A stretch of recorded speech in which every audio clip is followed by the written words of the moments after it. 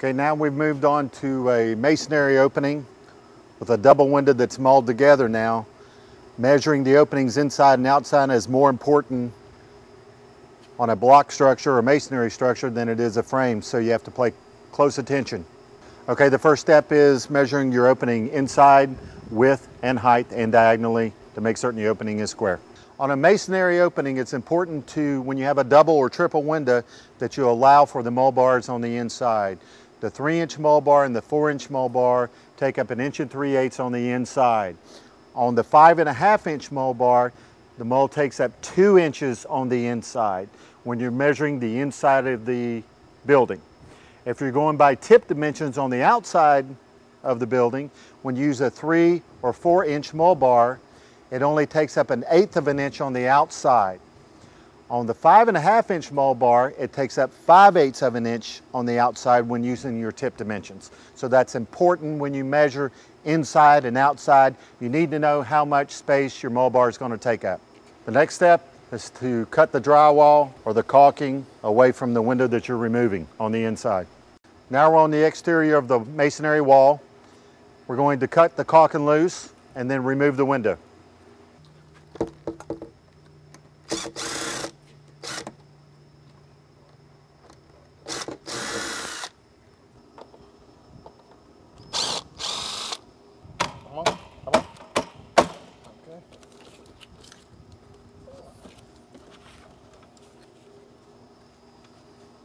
Okay, now we've removed the window, exposing the precast sill on the bottom, exposing the bevel buck with the drywall butted into it on the heads and on the sill. What we recommend is removing the bevel buck and cutting back the drywall on the inside to install the three inch PVC window. You also need to mark the drywall where you're going to cut the drywall to remove it for the additional depth of the PVC window. The PVC window will be three inches deep compared to most aluminum windows, which is two inches deep when you remove them. So you must remove the drywall.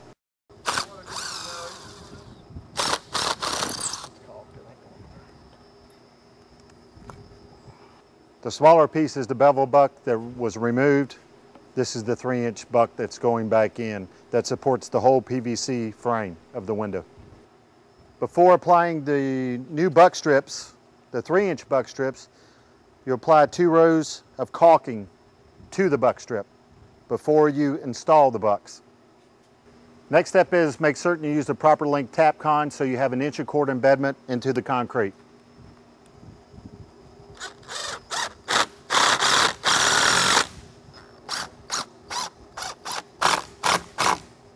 Okay, now the new three inch buck is installed and caulked in place.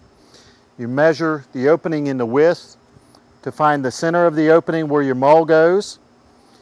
You knock out the lip on the precast sill and then pre-drill your mull clips. To pre-drill the mull clips, first measure and position the mull and clips over the center of the sill.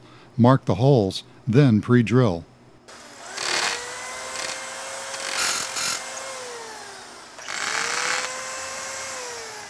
We have adjustable mull clip.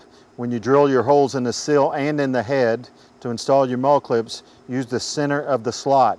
That way you can adjust the clip back and forth to get your window in the opening.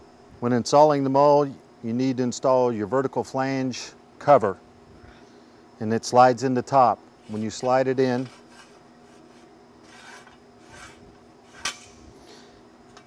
you need to caulk it on both sides before you install the window. The next step when installing the mull clip, the mull slides over the top piece. It needs to be caulked around the perimeter before you install it and underneath the mull clip before you install it. As you can see, we've got the mull clip anchored in four points and caulked in place. The plate is caulked and the mull is caulked. As per our mulling instructions, the mull clips the wood goes over the mull clips, therefore the wood must be notched on the bottom or the top to go over the mull clip. When you install your buck in the head, it will go over and cover your mull clip.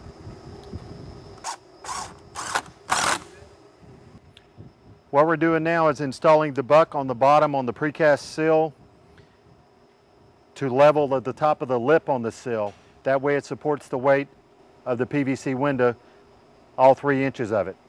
Like the top and the sides, it needs, the buck strip needs to be caulked with two rows of caulking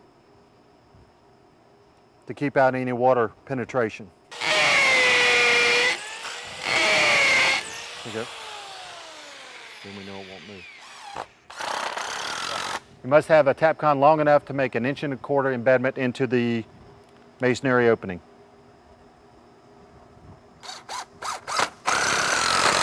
The next step is to caulk the flange of the window on all four sides.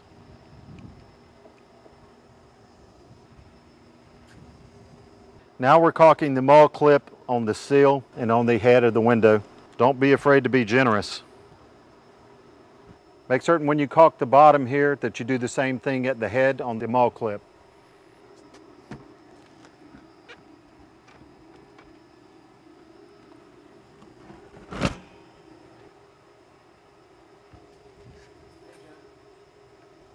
We recommend leaving in the shipping clips until the window is installed into the opening. Now that we've got the window in the hole, we will check it, make certain it's plumb level and square. The mull itself, we will tap over to take up, take up any excess room that we have in the width. And Russell's gonna do that now, go ahead.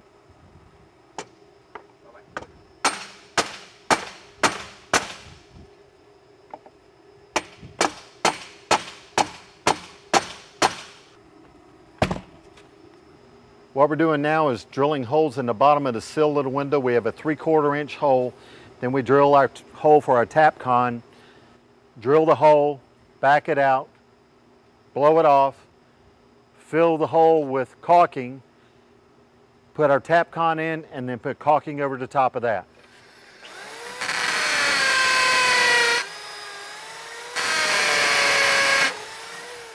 We have a 3 16 Tapcon going in the sill of the window only. It has a half inch stainless steel washer backed up with a neoprene on the bottom to help get a secure seat. We have the holes caulked already.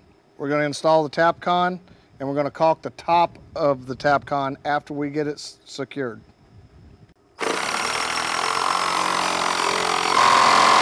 special Tapcons with the washers and the plugs are included with every window to go into the sill only of the windows.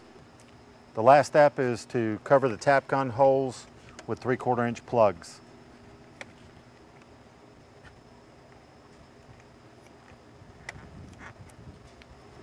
You need to make certain you have the proper length Tapcons to make an inch and quarter embedment into the block in every opening and every hole that you have in the perimeter of the window.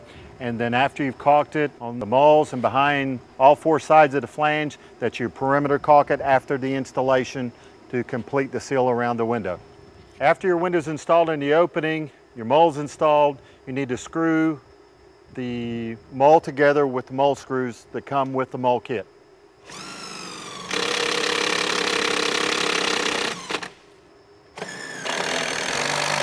After your windows are molded together and the mull screws are in place, you put the mull cover on the inside and you tap it on with a rubber mallet.